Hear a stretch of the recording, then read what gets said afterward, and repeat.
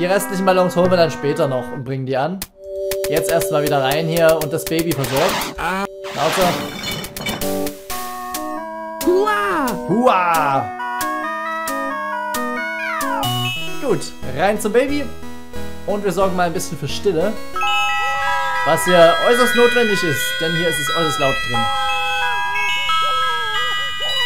Klappe halten! So, zumindest das Baby ist ruhig. Wenngleich die Musik hier doch schweinelaut ist ansonsten. Gut, das Baby ist still. Und wir haben unseren Dienst erledigt. Hat sich schlafen gelegt.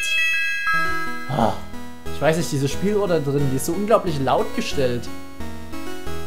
Gut, wir haben unseren ersten Job als äh, Hofzauberer getan. Und damit haben wir für den Rest des Tages frei. Gut, wir müssen nicht mal mehr mit ihm reden. Wir haben frei, das heißt, wir gehen jetzt einfach mal hier rein.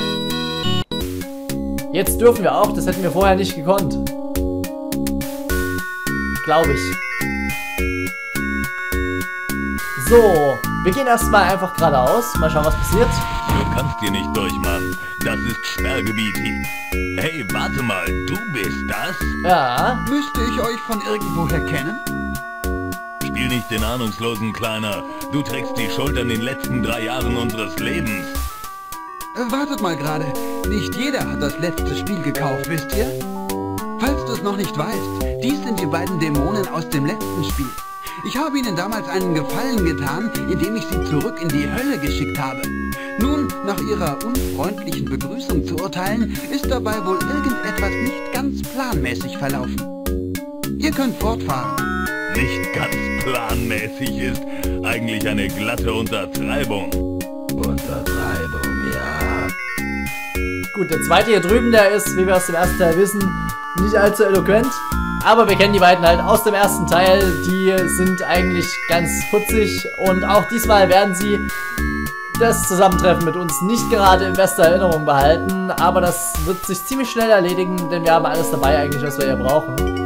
Wird das wieder so eine Endlos-Diskussion? Glaub ja nicht, dass du so einfach davon kommst. Wir Dämonen glauben nämlich eigentlich an Rache. Rache, ja. Wie wär's mit Vergeben und Vergessen? Du musst das von nun unserem Standpunkt aus sehen. Wir haben drei Jahre lang in dieser vierklassigen Stadt verbracht. Wir mussten eigentlich jede Arbeit annehmen, die wir angeboten bekamen. Welche Art von Arbeit? Bis vor ein paar Monaten waren wir noch die sonnenverbrannten Clowns. Clowns, boah, ey. Wir haben Kindergeburtstage geschmissen und so ein Zeug. Klingt ja aufregend. Sich Eiscreme über die Hose zu schütten und mit einer Pappnase herumzulaufen. Welche Hose? Pappnase, boah, ey. Das ist nicht sehr dämonenhaft, ne? Wir waren eigentlich das Gespött unserer ganzen Zunft. Und du allein trägst die Schuld daran. Wer stellt zwei Verlierer wie euch ein?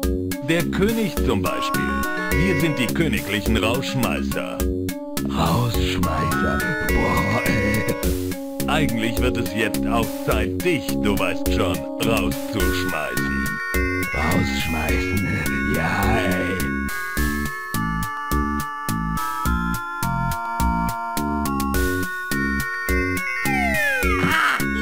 Und damit geht's abwärts für Simon. Oh, Mache ihr nicht so einen Lärm. So, ja, wir sind wieder rausgeschmissen worden. Da müssen wir doch mal irgendwas tun. Und wir haben schon mitgekriegt, wir können oben am Absatz erstmal stehen bleiben, ohne dass die uns kriegen. Ohne dass die uns äh, hier erscheinen. Und genau an der Stelle müssen wir jetzt auch mal ansetzen. Wir brauchen irgendwas, um die aufzuhalten. Und dazu ist jetzt der Kaugummi gut. Diese Dinger sind nicht sehr kompatibel, was? Oh, dann machen wir erstmal, warte mal, müssen wir erstmal den Shake benutzen. Ja, erst den Shake.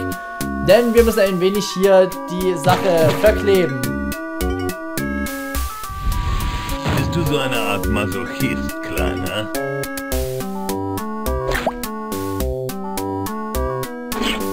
Dachte, das wäre der Kaugummi gewesen. Aber gut. Das tut's auch.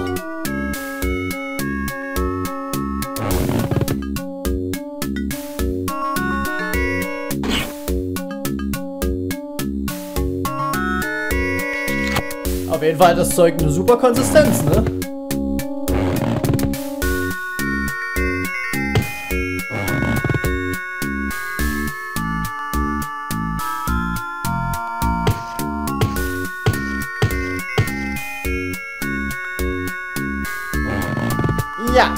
So erledigen sich die Dämonen von selbst.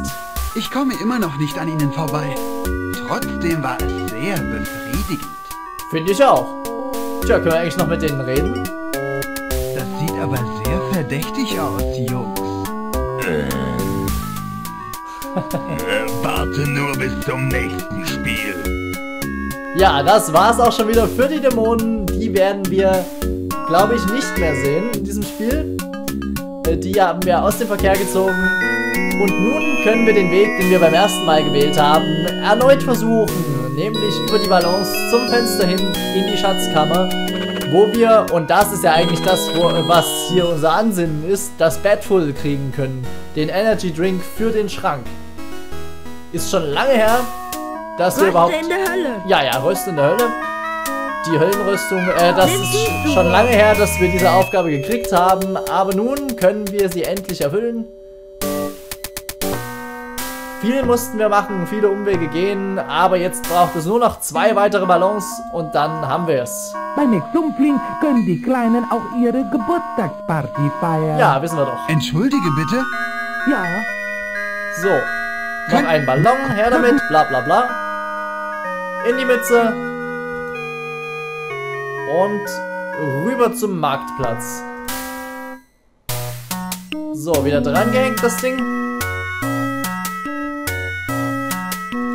Und dann holen wir uns noch den letzten Ballon und damit sollten wir dann endlich zur Schatzkammer kommen. Es wird Zeit. Aber das Spiel ist dann noch nicht vorbei, das kann ich schon mal verraten. Entschuldige bitte. Ja. Da kommt noch mal eine ganze Ecke. Könnte ich hier noch einen Ballon haben? No. Wir haben ja auch Sordid und seinen kleinen Kompagnon da in der Schicksals... Äh, auf dem Schicksalsberg in seiner Festung schon ewig nicht mehr gesehen. Und genau dort werden wir nochmal hinkommen. Aber das dauert noch ein wenig. Erstmal hin zur Schatzkammer. Und diesmal hält uns keiner auf. Wir holen uns das Batful. Heil Dänemark! Was ist, ist da unten gerade das Schafkopf über in den Fluss gestürzt? Okay, wir sind endlich da. Und leider können wir mit diesen ganzen schönen Sachen hier nicht viel anfangen. Wir können uns natürlich mal den Sarkophag anschauen. Aber hier geht's nach unten. Ich glaube, wenn wir die Kiste Mann, ausgesucht hätten. nenne ich mal einen Haufen Geld. Ja. Ich glaube, wenn wir die Kiste ausgewählt hätten, wäre dasselbe passiert. Aber hier ist der eigentliche, die eigentliche Schatzkammer. Und schon wieder eine nackte Tussi. Also ich weiß auch nicht. Der König, der ist super. Der König gefällt mir total. Hm, und was könnte wohl das Batful sein? Weiß nicht, vielleicht das hier? Da ist es. Okay, wir schnappen uns das Zeug und dann raus hier, so schnell wie möglich. Das muss das Zeug sein.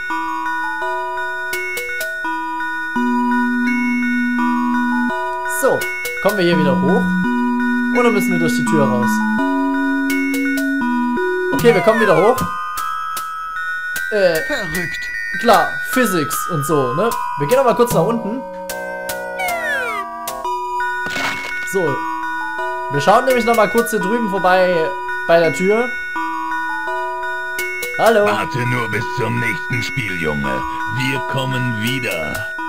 Wieder, ja. So, Versuch das nächste Mal unverklebt zu kommen. die zwei wollte ich noch besuchen. Ja. Gut, die zwei wollte ich noch mal aufsuchen. Da haben wir sie noch mal gesehen, unsere Freunde. Und damit geht's rüber zu Calypso. Verrückt. Mhm.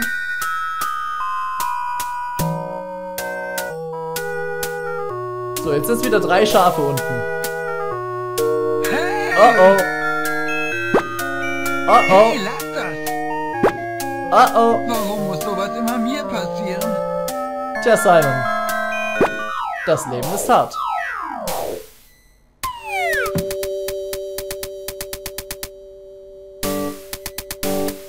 Und wieder geht ein Zahn verloren. Wenigstens habe ich das Bett voll. Ja. Und mit dem begeben wir uns sofort zu Kalypsos Laden, denn geht es denn jetzt schon wieder zurück? Oh. Wo zum Geier bin ich hier? Ich glaube, ich hätte vorhin links abbiegen müssen. Ich sollte besser nach dem Weg fragen. Äh, Entschuldigung, wissen Sie, wo Kalypsos Zauberladen ist?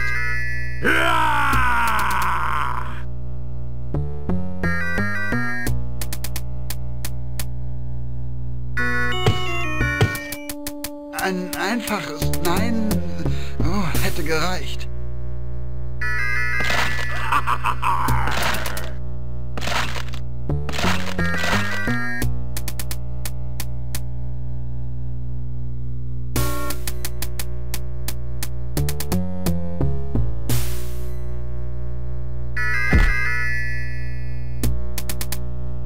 Sympathisch. Alles klar, Captain.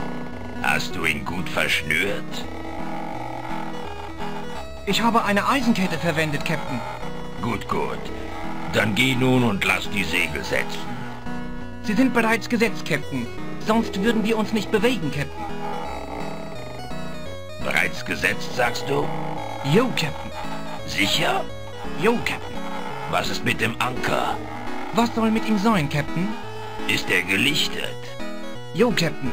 Ich habe es mit meinen eigenen Augen gesehen, Captain. Nun, dann geh einfach und mach irgendwas.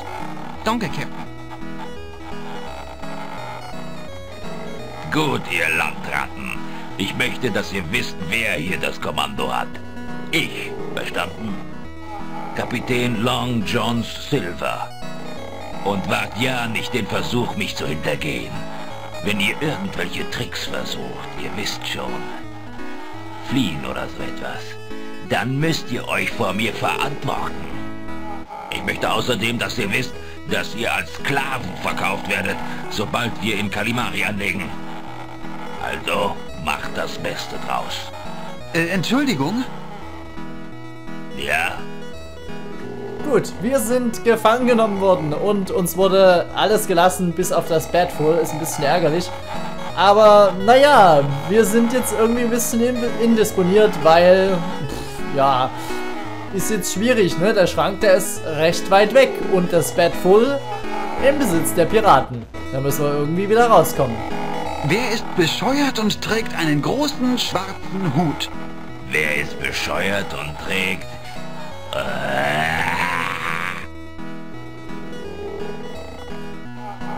Okay, der lange John geht. Na prima, Mr. Vorlaut hat mal wieder zugeschlagen. Und wir sind alleine mit unserem Mitsklaven, mit dem Muskelpaket hier äh, im Frachtraum. Wir sind die beiden Sklaven, die verkauft werden sollen. An dieser Stelle mache ich aber mal eine Aufnahmepause. Wir speichern und äh, sehen uns beim nächsten Mal wieder. Und dann werden wir schauen, wie wir hier rauskommen, wie wir wieder an das Bett voll kommen und wie wir wieder zurück auf, äh, auf die Insel, in die Stadt gelangen, um endlich den Schrank anzuwerfen und in unsere Dimension zurückzukehren. Und was ist mit Sordet und seinem Kollegen? Hm, was machen wir denn da noch mit denen? Gut, wir werden es sehen beim nächsten Mal. Bis dahin gehabt euch wohl und tschüss.